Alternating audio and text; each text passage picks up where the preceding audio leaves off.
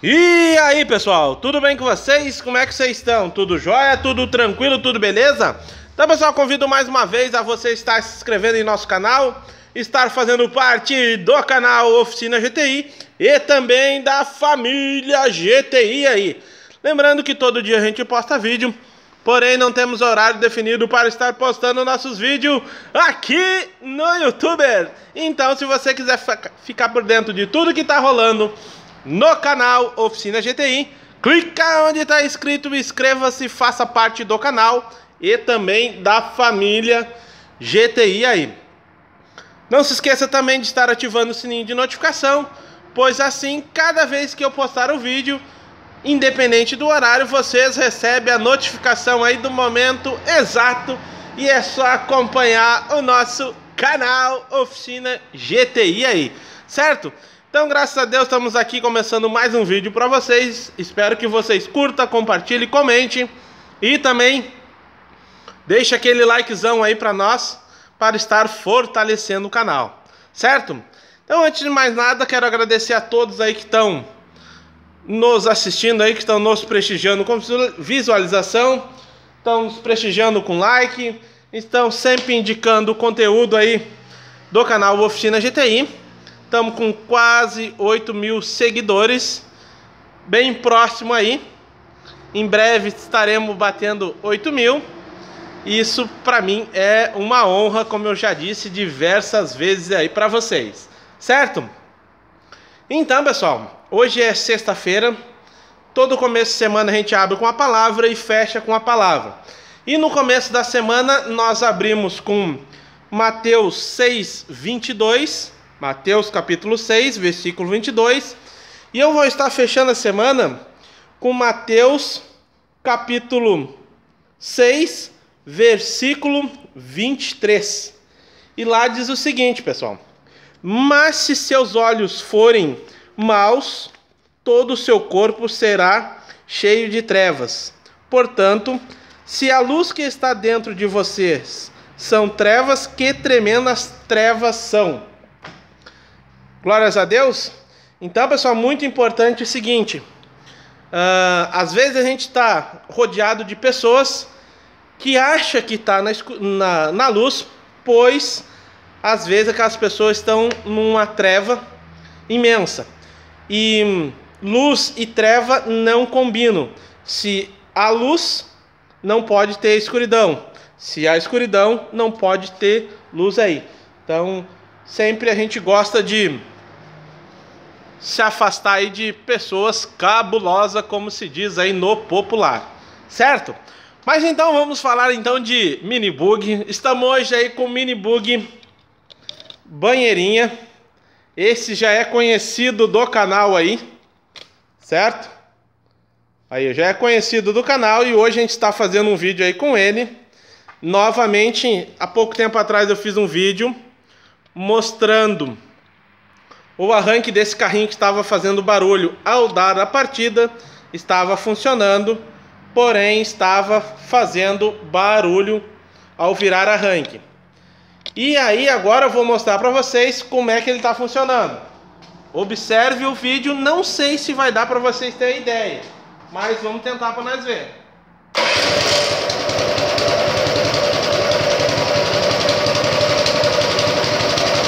Vou desligar ele.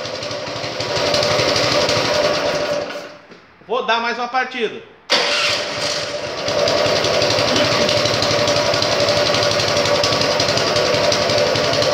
Mais uma vez. E lá vamos nós.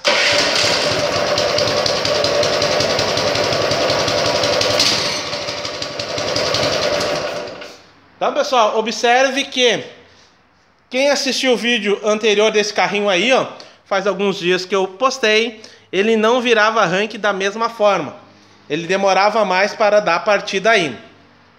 Isso acaba judiando de bateria, acaba judiando de arranque e acaba ficando, uh, na minha concepção, feio aí.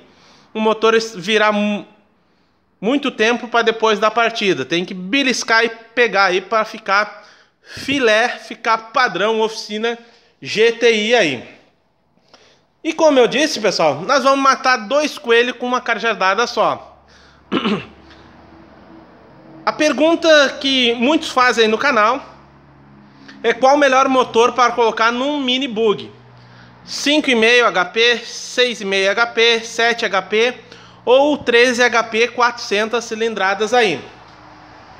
Então o que, que acontece? Esse carrinho já teve um 400 cilindradas. Tem fotos e vídeos aí no, no nosso Facebook. Eu não lembro se tem no canal aí. Uh, mas esse carrinho já teve um 400 cilindradas. E na minha concepção, não há necessidade de colocar um motor 400 cilindradas no mini bug. Por quê? Vai ter o mesmo RPM, porém vai ter um torque maior. Vai ter um consumo maior de gasolina. E se ele não tiver partida, não é qualquer um que vai fazer ele ligar aí. Se for com partida, melhora, fica bem melhor uh, do que o sem partida mas para um mini bug uh, não há necessidade de colocar uh, uh, motor 400 cilindradas no bugzinho. A 7 HP já é um excelente motor, são em média 208, 212 cilindradas aí, dependendo do fabricante. E isso traz um grande, uma grande vantagem aí de desempenho, economia e eficiência. Caso fosse um 400 cilindradas, daria para modificar o sistema de transmissão e também fazer ele tracionar nas duas rodas. Mas esse carrinho aqui, ele tem esse 6,5, 7 HP aí e traciona nas duas rodas.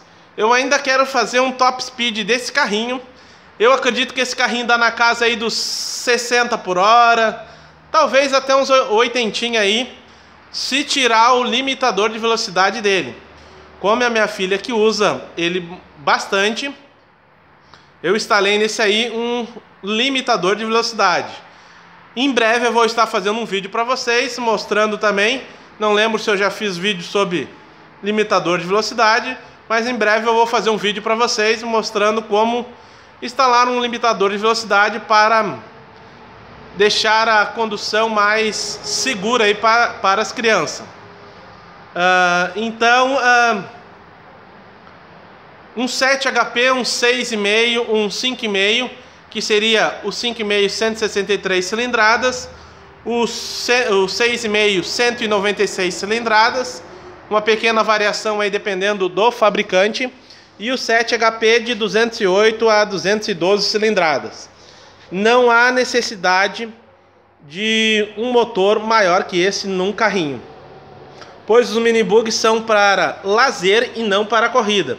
Esse carrinho aí a gente fez um chassi todo reforçado para ele, pois quando a gente colocou o motorzinho 400 cilindradas, uh, nele ele ficar mais forte, porque originalzinho no banheirinha uh, um 400 cilindrado, o chassizinho é muito fino, desde espessura de parede ou diâmetro do tubo aí.